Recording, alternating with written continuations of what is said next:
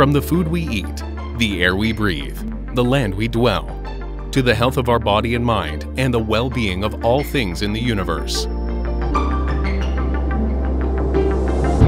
Unlock the science with Chula Radio Plus.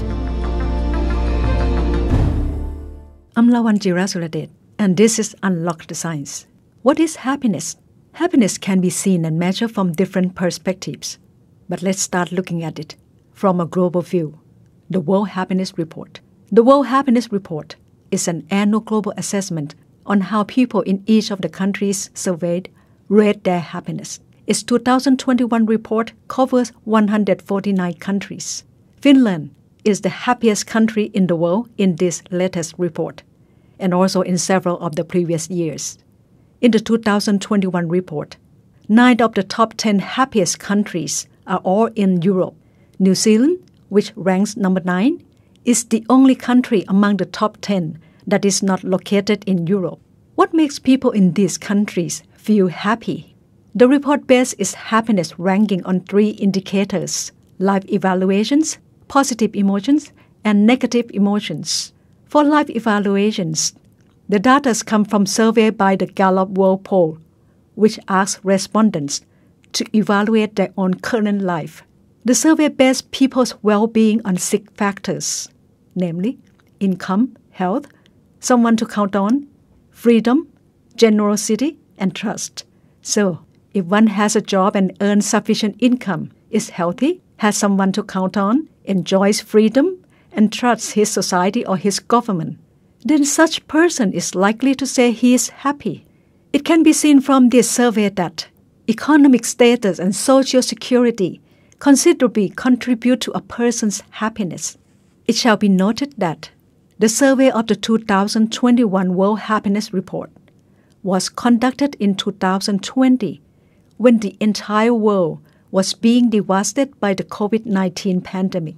However, authors of the report said that though there were significant increases in average sadness and worry, which are regarded as negative emotions, they found that overall life evaluations and happiness rankings were surprisingly stable. The top countries before the pandemic remained the top countries in 2021. The authors of the report note that the top countries, such as Finland, Iceland, Denmark, or Switzerland, already had higher levels of trust and lower levels of inequality, both of which help them to keep death rates low and social cohesion high and hence to maintain their favorable positions. These small and mid sized European nations are known to be welfare states, whereby the government collects high taxes and takes good care of its citizens from cradle to grave. Their government and society are also seen as non corruptible. The World Happiness Report is launched annually on the International Day of Happiness, which falls on the 28th of March. Its report of 2021 is only its ninth of such report. The authors, who are a group of independent experts acting in their personal capacities, say the assessment is an exercise of subject well being, meaning the survey is based on personal feelings or opinions in the survey, and this survey is carried out on a national level. But happiness can also be measured at individual level and be seen from a scientific point of view. Our body reacts when we feel happy by releasing certain body chemicals. Dopamine, which makes us feel good, and serotonin, which reduces depression, are the two most commonly known to be associated with happiness. People with clinical depression are often found to have lower levels of serotonin. Dopamine and serotonin are neurotransmitters, which are chemical messenger cells that transmit signals between neurons or nerves and other bodily cells. Neurotransmitters are responsible for processes and feelings in almost every aspect of the body, from blood flow to digestion. Another neurotransmitter associated with joy is endorphin, which is our body's natural painkiller. People who exercise up to a certain intensity are known to feel high, as his body releases endorphin, which has a morphine like effect. However, when we are happy, we react in different ways. Some laugh, but some could cry with tears. Scientists say there is nothing wrong that we react to happiness differently. We will understand more about happiness from a psychiatric point of view. Unlock the Science editor and producer, Sinfa Tansarawut, talked to Dr. Patanon Kwansanit, a psychiatrist at Somdet Chao Praya Institute of Psychiatry under Department of Mental Health, Thailand's Ministry of Public Health. In psychiatric terms, how do we know when a person is happy? Actually, when people feel happy, we will express in the three ways. First, we are the emotion, which can notice from the facial expression. And the second, uh, our thought, we can notice when we talk or when we share uh, the ideas. And the last one from the behaviors that we act like uh, we engage more with the society or connect to another humans. So this is the key that we can uh, know when person have a happiness. But uh, our brain also drive the happiness by the very key circuit called reward system.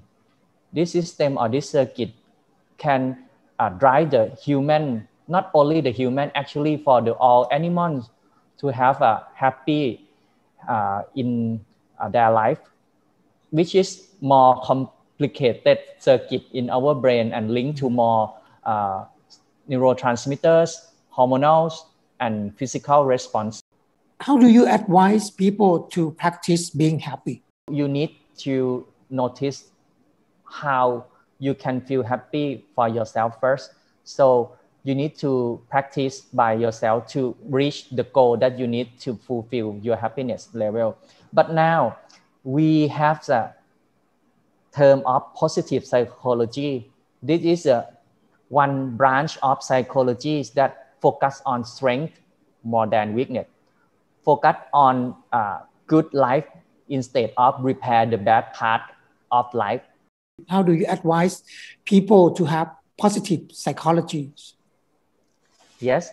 For example, if people come to see a psychiatrist that they have a depression and they feel the negative part of themselves, like they're not good enough, they're not unlovable for some their lovers. So instead of we need to fix that why you're not good enough, we can help them build that strength that what the good part that they still have. Because most of depression will think that they have only the bad sides of themselves. But actually everyone had both sides bad and good part can we actually trick our body to feel happy? For instance can we fake a smile to make us feel happy? Actually the most of people think that we can do something to make our body believe that we happy. But it's just only one part that i mentioned earlier that three express of uh, ourselves to the happiness. First to the emotion expression like a facial expression with smile is can can can uh, have a uh, evidence that we have the happy. But our, our thoughts think about oh we have more drive, more positive thoughts, more energy to uh, think about some future or about some problem in the positive way. And the three part, uh, the, sorry, and the third part about the behavior. So fake smile is just focus on the behavior domain only. So you cannot just pretend to have a happiness by only fake smile, but your thoughts and your emotions still be the same. So it can have effect temporarily, but if you want to have your long-term effect of the happiness, you need to uh, focus on the emotional part and thoughts part as well to respond to the happiness. Okay. In in psychiatric term, do you see the difference between happiness and pleasures? Yes, actually, it's a term very close, but it still be the different in the the term of use when we want to communicate with the the people.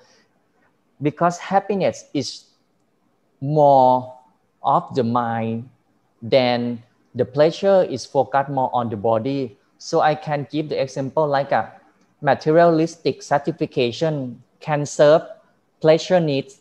Like you get some things you will have more pleasure but not always happiness fulfillment because happiness is more deep level in in the mind state of mind not only the body pleasure or the physical pleasure. In thailand what factor do you think are making people happy and unhappy now? Okay it's very interesting question because actually i think for the all countries happiness is depend on micro uh, uh, uh, micro structure and macro structure. Like a relationship, uh, friends, family is a, a, very universal. But for the macro uh, factors like a COVID situation and good exit strategy for the control the situation, economic uh, crisis that relate or not relate to COVID situation and political situation, it play part to the happiness or uh, unhappiness. We will take a short break now. You are listening to Unlock the Science on Chula Radio Plus. Now, we are going to look at happiness from another perspective philosophy. Happiness is a major subject in philosophy, and it has a long history and many schools of thought. Unlock the Science is honored to have Professor Dr. Soraj Hongladarom from Department of Philosophy, Faculty of Arts, Chulalongkorn University, a renowned philosopher, to discuss these issues of happiness. Professor Soraj is also an expert on ethics. Therefore, he tends to look at happiness with a tone of ethical consideration in his mind. But we need to provide our audience with some background of philosophical terms Professor Soraj will be using in his talk. He mentions utilitarianism, a school of thought focusing on the results of an action. If the results of an action produce utility or happiness, then it is good. Hedonism is pleasure seeking, and a hedonist is a person who seeks pleasure for himself. Professor Soraj says pleasure is unnecessary to happiness. Another term is Stoicism. According to Professor Soraj, Stoicism tells us that there are things in our life that are beyond our control. So, if you want certain thing that you cannot get, you will end up being unhappy or you will suffer. Therefore, Stoicism tells us not to allow things beyond our control to affect our thought or emotion. This could help us maintain our happiness. Now, you can enjoy Professor Soraj's discussion on happiness philosophically with Unlock the Science editor and producer, Sinfa Tansarawut. Do you think we, the human, shall seek for happiness? Uh, I think it's the duty of human beings uh, to seek not not especially uh, one's own happiness. That's hedonism. That's another question.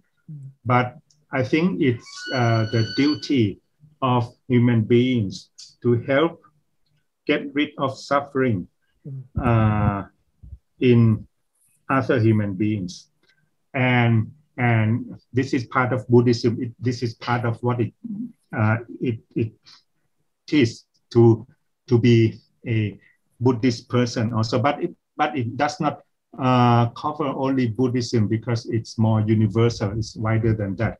You don't have to be a Buddhist in order uh, to to have this sense of duty to help uh, relieve other people of suffering.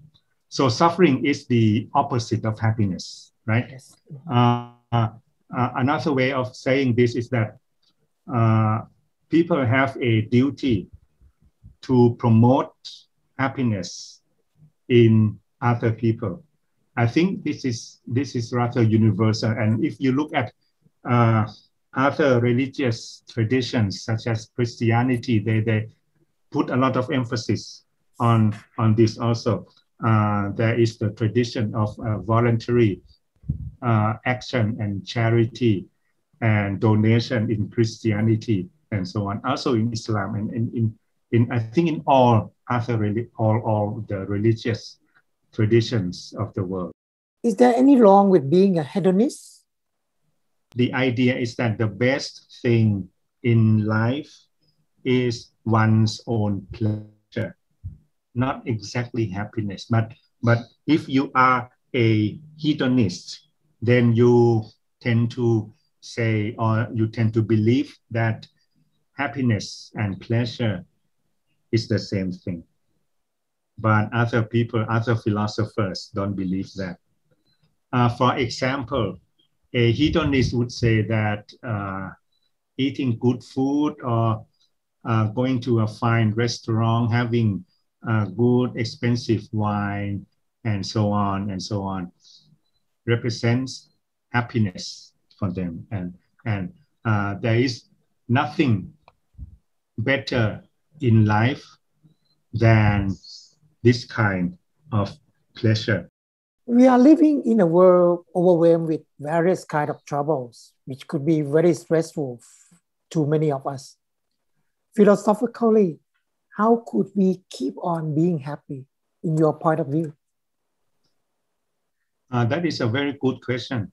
And uh, we don't need to focus exclusively on Buddhism because otherwise this program will become like, you know, Buddhist philosophy. yeah. Uh, we, we can also look at uh, what other traditions have to say. For example, in the West, there is the tradition known as Stoicism.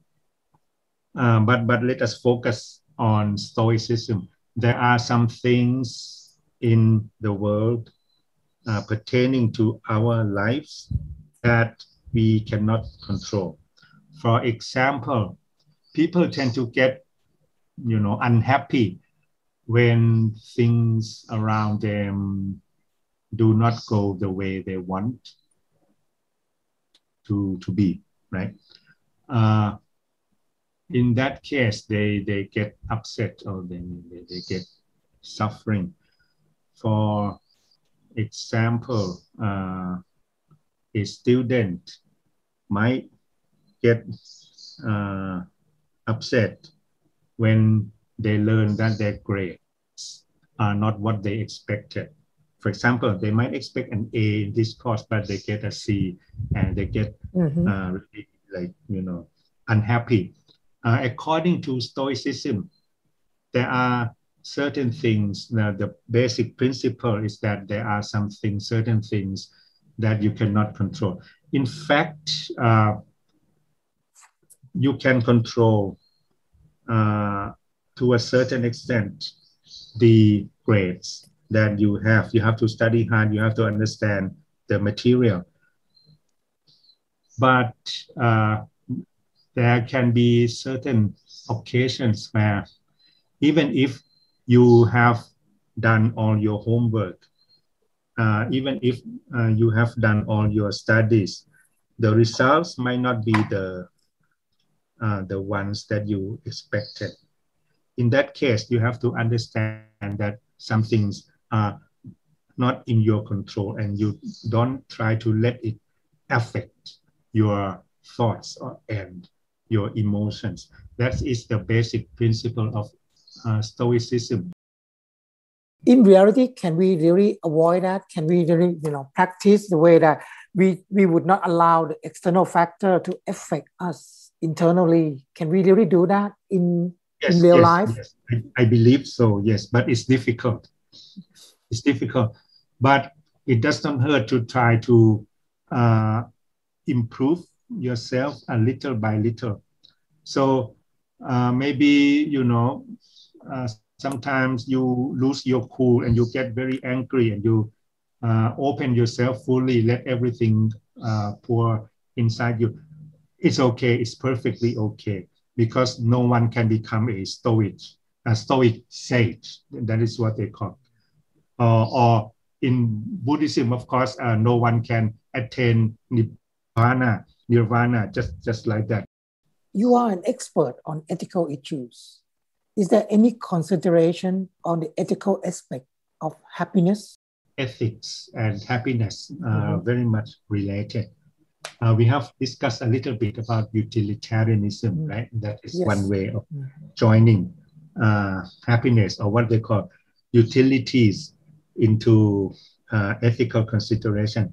But I think uh, what we could also focus on is that uh, people should be ethical and by being an ethical person one becomes in the end a happy person also this is a very ancient tradition uh, you can find this both in the Indian tradition, I think in the Chinese tradition also, though I'm, I'm not uh, familiar with that. So we are in Thailand. What do you think are the main factors that make Thai people happy and unhappy? I think it's the same as uh, people everywhere. So it, it is not true only for Thai people. People will be happy when their needs are satisfied. Uh, when they are hungry and they can have something to eat, not not fancy stuff like you know good restaurant. Not no, we are not talking about the hedonists. We are talking about ordinary people. So people become happy, and and when they have good friends, when when uh, they live in a, a stable family with you know uh, a good home where people smile and, and laugh with one another. I think this is universal. This is true not only for Thai people. And when they don't have those, of course, they will be unhappy. The World Happiness Report said that a broad range of evidence showed that people who are emotionally happier, who have more satisfying lives, and who live in happier communities are more likely both now and later to be healthy, productive, and socially connected. That can be interpreted as being happy could benefit your physical and mental health and also people around you and your community. Psychologically or philosophically, we are advised to stay happy. And happiness is not simply pleasure.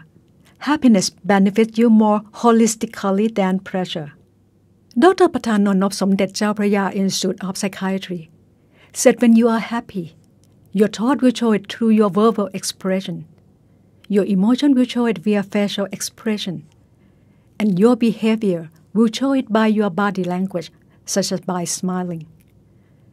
Dr. Patanon also mentioned the practice of positive psychology, which share similarity to Stoicism in the philosophy, that one should focus on his strength not his weakness, and not allow factors beyond his control to affect him.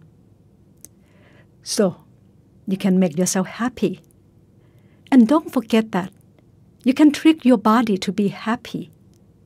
Faking a smile is not only nothing wrong, but could benefit you mentally, though for a short while. So, don't forget to smile and stay happy. Unlock the Science would like to thank Dr. Patanon Kwansanit of Somdet Chao Institute of Psychiatry and Professor Dr. Soraj Hongladarom of Chulalongkorn University. I hope you enjoy our program. You can listen to Unlock the Science on Chula Radio Plus at FM 101.5 every Saturday from 1 p.m. to 1.30 p.m. You can also listen and follow us on our website – curadio.chula.ac.th and our Facebook page. And our program is also available as podcast. See you again next Saturday. Have a nice day.